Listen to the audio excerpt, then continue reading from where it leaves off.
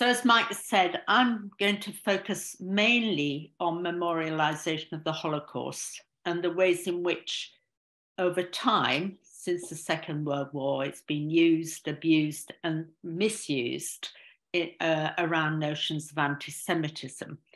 Uh, and I'm going to refer a bit to the comparator that Mike mentioned. Uh, oops, sorry, I have problems in knowing how to move uh, down. Okay, uh, so mainly I'm going to focus on memorials and monuments, but not statues, and discuss who's commem commemorated and raise issues about class, gender, or sex and race, uh, as well as uh, just the general question of uh, Jews and anti Semitism. Uh, Mike said quite a bit about my background as a Jewish socialist feminist. Uh, I'm going to focus in particular on the notion of the Holocaust or the Shoah in Hebrew, and it's the name given, as you all know, to the Nazi genocide or the alternative. And there's been quite a conflict over whether it's genocide or crimes against humanity. Uh, and especially the anti Semitism initially in Germany between 1933 and 1945. Uh, the developments of the debate uh, really took place uh, between 35 and 50 years after 1945, uh, where until that point there was a relative silence. But since that has been raised, it's become highly contested around notions of anti Semitism. And whether uh, the Holocaust, in particular, is a uniquely Jewish uh, phenomenon or linked with other forms of racism. And as Lucia in particular will say much more about, questions of memorials for other groups are relative remain relatively mute, in particular for the Nakba uh, and uh, Palestinians today. And it's rarely raised with as much emotion as it is over Jewish people. So I think we need to uh, raise that question, as Mike has said. And I'll go through the, some of the ways in which this has happened over the last uh, 20 to 30 years. In, in particular, though, the Jewish approach of Yahrzeit and Yizkor, lighting a yellow candle, is about memorials and memorialization, in particular about parents and others. And there are two events in particular that have been celebrated over the last uh, 50 years. First is Yom HaShoah, which was started to be celebrated as a Remembrance Day on April the 27th in Israel and uh, in relation to the Warsaw Ghetto uprising. Holocaust Memorial Day, a much more contested day, uh, was, has been celebrated on January the 27th as the end of concentration camps, and in particular, the liberation of Auschwitz by the Soviet army, and has been linked with Holocaust education and International Holocaust Remembrance Alliance. Uh, and in the UK recently, there's become, been a debate about Holocaust Memorial Monument in Westminster Gardens. And yet at the same time, all of these debates have occurred. There's been really in this country no acknowledgement of slavery until recently, or, and, or a memorial to the UK's imperial past, except for monuments uh, for particular individuals. Uh, and the only brief moment when this has become discussed is Sadiq Khan's recent offer of £500,000 for a memorial to slavery in Docklands. On the other hand, we've had lots of war memorials to uh, the people fighting in British wars, but mainly the senior uh, members.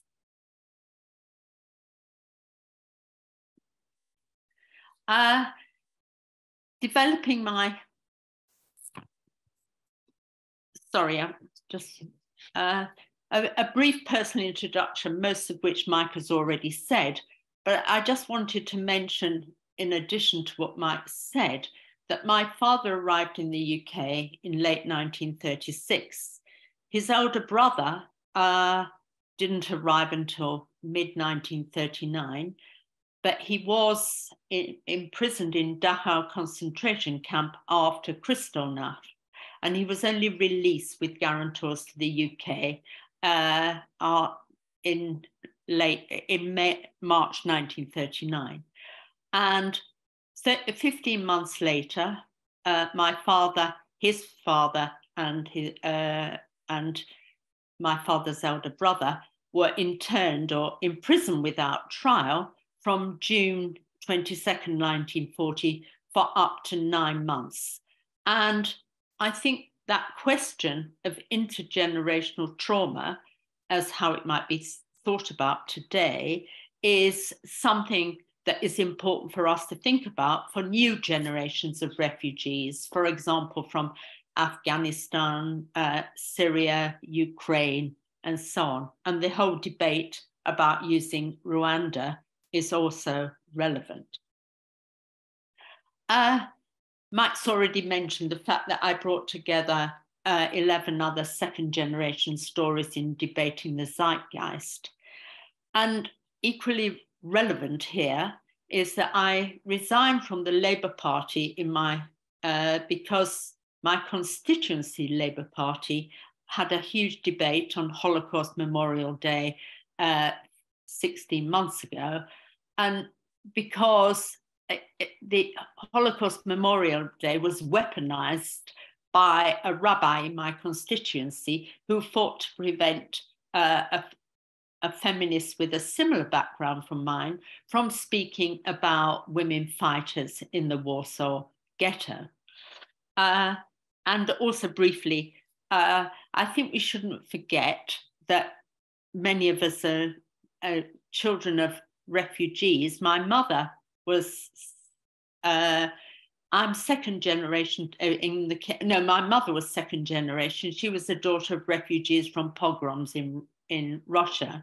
And I've only recently discovered that my grandfather was from Kherson in Ukraine, and his wife was from uh, a place in Ukraine near Lviv, which uh, Philippe Sands has written evocatively about the same area in his book. Uh, and to raise the question of Ukraine, then, which I think is relevant because the poem Babi Yar, which was written by the Russian poet Yevtushenko in 1962, was about the fact that the Russians didn't build any memorials either, uh, apart from us uh, not building them. And his, his poem, Babi Yar, was about there being no memorials. Babi Yar was the ravine site in Kyiv where 33,000 Jews were murdered by the Nazi in two day, Nazis in two days in 1941.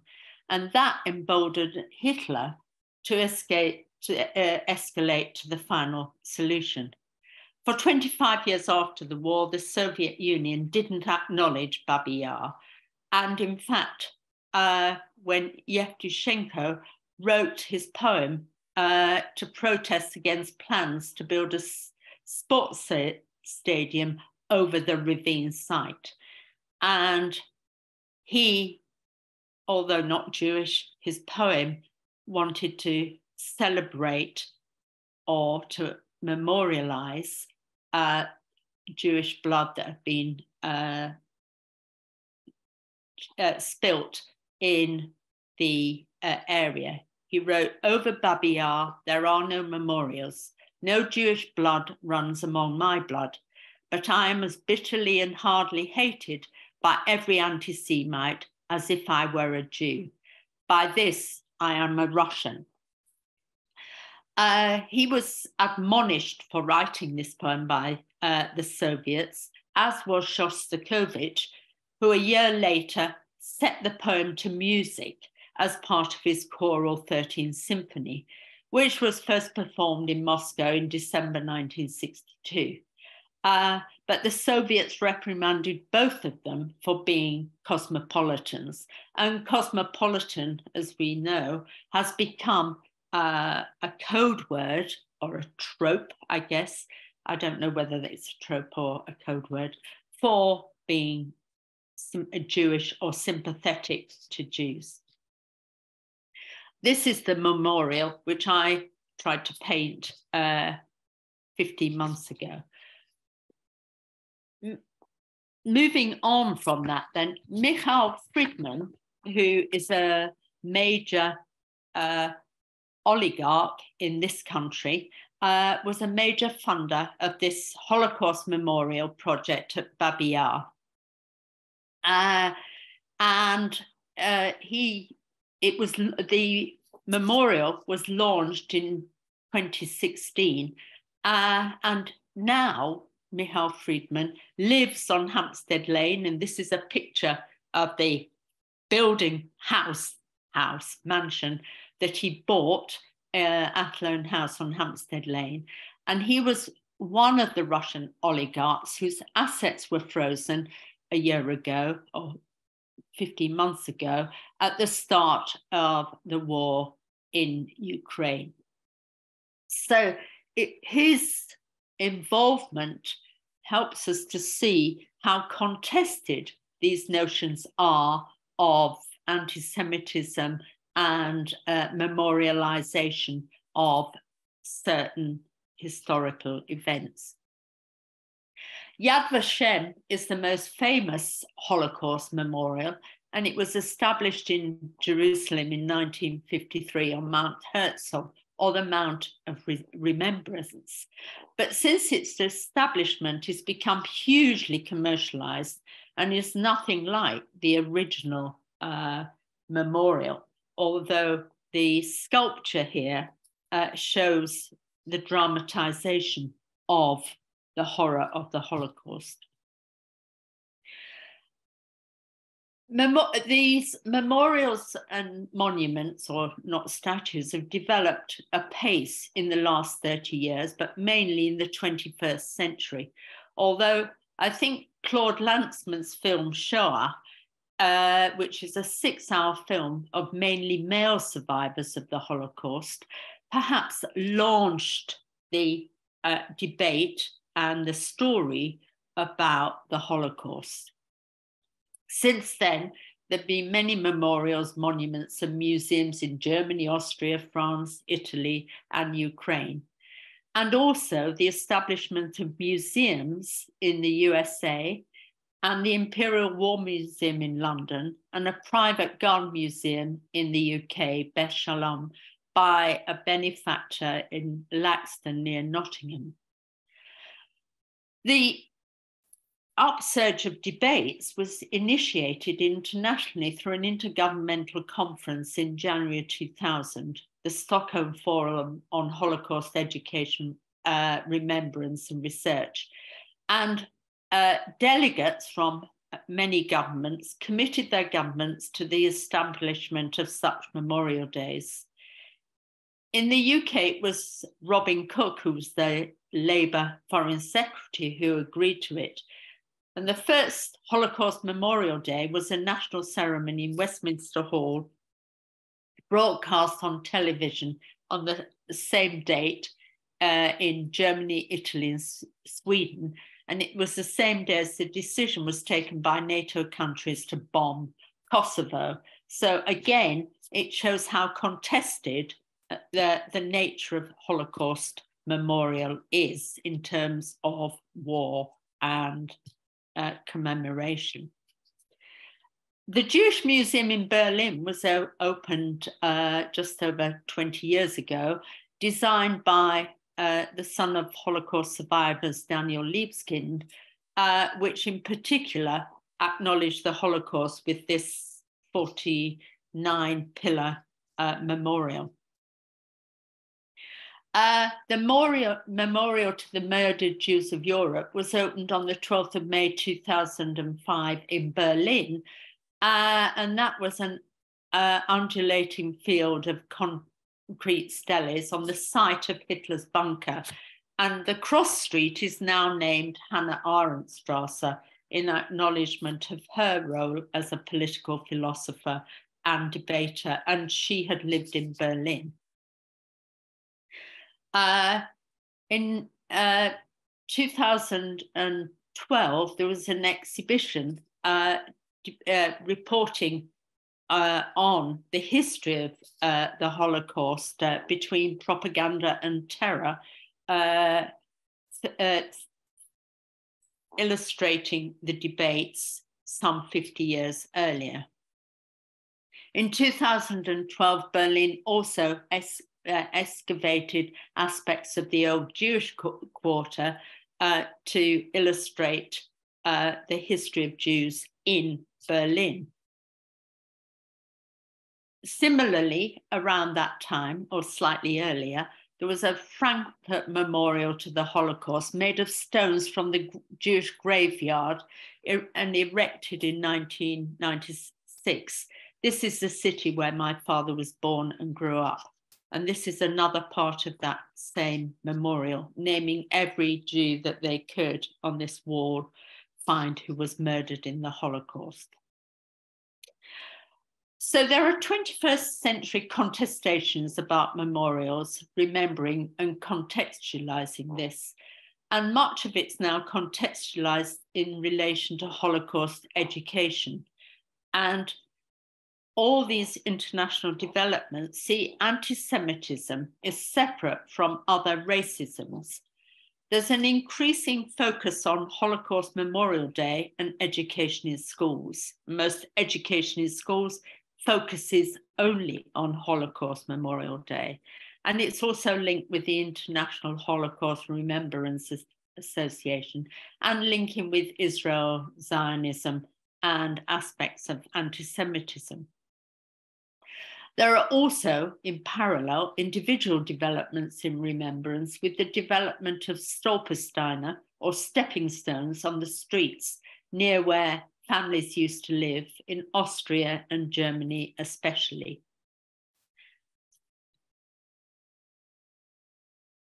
Uh, and finally, just one memorial which contradicts what I've been saying, which is a couple of statues of young children, which is the Kindertransport Monument at Liverpool Street Station in London, which was a project established by the Association of Jewish Refugees in England, which pays tribute to those Britons, especially Nicholas Winton, who aided the rescue of 10,000 Jewish children, Kindertransport as called, from the Nazi persecution, which led on to the Holocaust.